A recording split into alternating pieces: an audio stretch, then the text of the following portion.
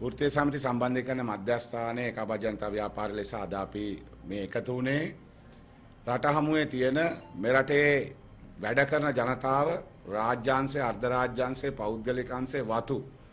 ශේෂ්ත්‍රවල ජනතාව මුහුණ දෙන බරපතල ආර්ථික ප්‍රශ්න වගේම මේ වෙනකොට රට පුරා සාමාන්‍ය ජනතාවත් මුහුණ දීලා තියෙන ලයිට් බිල් වතුර බිල් ඒ වගේම ඉස්පිරිතාලේ බෙහෙත් නැති එක ඇතුළු බරපතල ප්‍රශ්න ගණනාවක් පිළිබඳව රනිල්ල රාජපක්ෂලා IMF වුමනාව මත වැඩ කරමින් ජනතා සහන කප්පාදු කරමින් ගෙන යන දැවැන්ත මේ ජනතා ද්‍රෝහි ක්‍රියාමාර්ගය වළක්වන්න තවාතකින් ප්‍රජාතන්ත්‍රවාද ප්‍රජාතන්ත්‍ර විරෝධී ලෙස මේ වෙනකොට කටයුතු කරමින් තිබෙනවා. ඒ සඳහා නීති හදනවා. ඒ සඳහා නීති උල්ලංඝනය කරනවා සමහර. ඡන්ද නවත්තනවා. ඒ නිසා රටේ ජනතාවට රනිල්ල රාජපක්ෂලා එකතු වෙලා කරන මේ ප්‍රජාතන්ත්‍ර විරෝධී ක්‍රියාමාර්ගත් ජනතාද්‍රෝහි ක්‍රියාමාර්ගවලටත් විරුද්ධව උත්සමිති සම්බන්ධීකරණ මධ්‍යස්ථානයේ ලෙස ගන්නා වූ ක්‍රියාමාර්ග පිළිබඳව තීරණයක් ගන්න අද දවසේ අපි එකතු වුණා. මේකට රට පුරා විවිධ වෘත්තීය සමිති විවිධ ඉල්ලීම් මුල් කරගෙන වෘත්තීය ක්‍රියාමාර්ග ගණනාවකට ප්‍රවිෂ්ඨ වෙලා තියෙනවා. ඒ වගේම මේ සියලු වෘත්තීය සමිති නියෝජනය කරන මේ රටේ විශාලම වෘත්තීය සමිති එකමුතුව ලෙස වෘත්සමි සම්බන්ධීකරණ මධ්‍යස්ථානයේ අපි අද දවසේ ඒ සියලු වෘත්තීය සමිතිවල ඉල්ලීම් වගේම ජනතාවගේ ඉල්ලීමුත් පදනම් කරගත්ත ඉල්ලීම් ගණනාවක් මුල් කරගෙන ඉදිරි ක්‍රියාමාර්ග තීරණය කරා ඒ සඳහා අපි කටයුතු කරමු. මේ වෙනකොට ආණ්ඩුව ඊටාම අසාධාරණ ලෙස කිසිදු පඩි වැඩිවීමක් දීමනාවක් ජීවන වියදම් දීමනාවක් ලබා නොදී ජනතාවගේ පොලිය වැඩි කරලා මේ වෙනට වැටුප කොල්ල කන්න කටයුතු කරලා තියෙනවා. බැංකුවට එන සල්ලි පොලිය වැඩි කිරීම හරහා වාරික කපා ගැනීමෙන් අද සියලු දේවල් අද කොල්ල කනවා.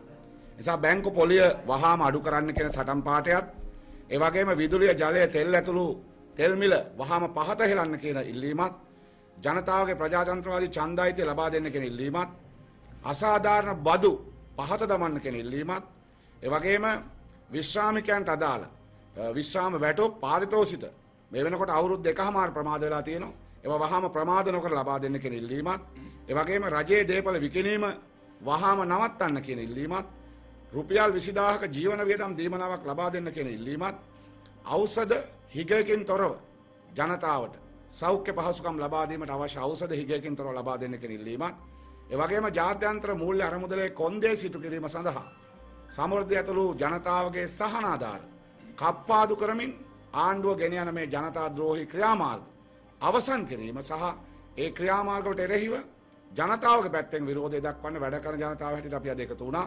ඒ නිසා පළවෙනිදා රට පුරා වැඩ වර්ජන ක්‍රියාමාර්ගයක් ඒ වගේම වැඩ නැවත්තන වර්කවුට් ඒ වගේම උද්ඝෝෂණ පාගමන් ඇතුළු කළු කොඩියන් දාන කළු ඇඳුම් අඳින මේ සියලු ක්‍රියාමාර්ග කරගත්ත විරෝධතා ක්‍රියාමාර්ගයකට යන්න සියලු වැඩ කරන ජනතාවත් එක්ක ඒකාබද්ධව මේ ක්‍රියාමාර්ග ගන්න ඌර්තසමි සම්බන්ධීකරණ මධ්‍යස්ථාන අද දවස් අපි තීරණය කළා.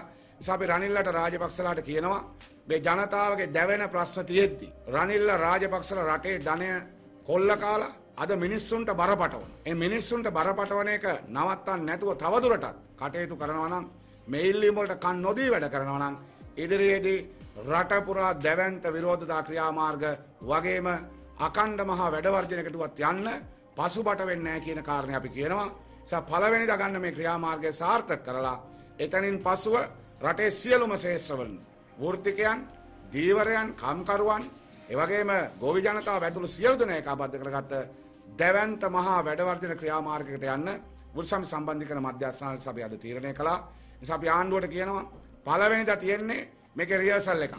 නිසා පළවෙනිදා රටේ වරාය, බැංකු, මහ බැංකුව, ඒ වගේම සියලු රාජ්‍ය ආයතන ඉදිරිපිට පෞද්ගලික අංශ ආයතන ඉදිරිපිට රෝහල් ඉදිරිපිට පාසල් ඉදිරිපිට ඒ වගේම දිස්ත්‍රික් ලේකම් කාර්යාලය ප්‍රාදේශීය ලේකම් කාර්යාලය ඉදිරිපිට මේ විරෝධතා ක්‍රියාමාර්ග අපි දියත් කරනවා.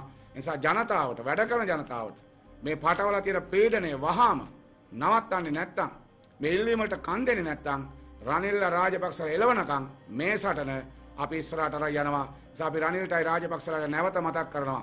2022 සමස්තමා වැඩවර්ජනය දැවන්ත හර්තාලය සාර්ථක කරන්න මැදිහත් වෙච්ච වෘත්ති සමි සම්බන්ධී කරන මධ්‍යස්ථානයේ මේ ක්‍රියාමාර්ගත් ජයග්‍රහණයට ගෙනියනවා ජනතා හඬට කන් දෙන්නේ නැත්නම් රනිල්ල රාජපක්ෂලා gedara යන පාර අපි පෙන්වනවා කියන කාරණේ අපි අවධාරණය කරලා කියනවා.